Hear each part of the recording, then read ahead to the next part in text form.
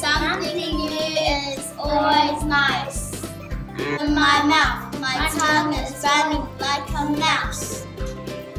Chomping, chomping in my mouth, my tongue is running like a mouse. Sweet and savory and sometimes sour. I could taste everything made from flour.